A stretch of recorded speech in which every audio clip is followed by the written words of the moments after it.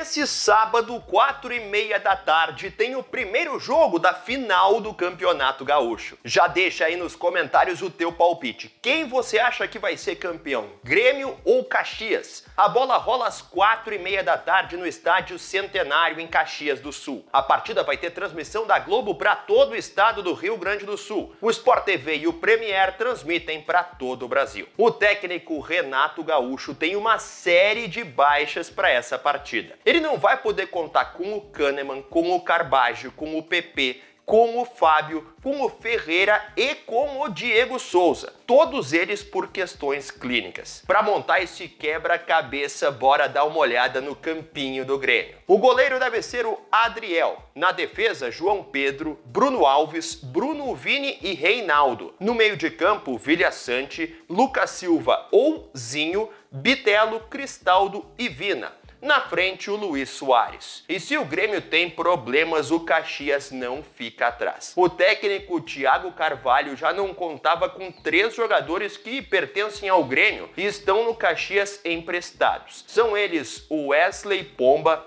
o Ronald e também o Pedro Cuiabá. Além disso, perdeu mais dois jogadores suspensos naquela briga que aconteceu depois do jogo contra o Inter na vitória do Caxias nos pênaltis. Quem fica fora por suspensão é o Marcial e o Vini Guedes. Confere aí o campinho do Caxias. O goleiro é o Bruno Ferreira. A defesa tem Marcelo, Dirceu, Fernando e Dudu Mandai. No meio de campo, Moacir, Marlon e Peninha. No ataque, Diego Rosa, Heron e Jean Dias. O jogo de volta entre Grêmio e Caxias vai ser no próximo final de semana. Já aproveita o embalo, deixa o teu like, segue e se inscreve no canal do UOL Sport.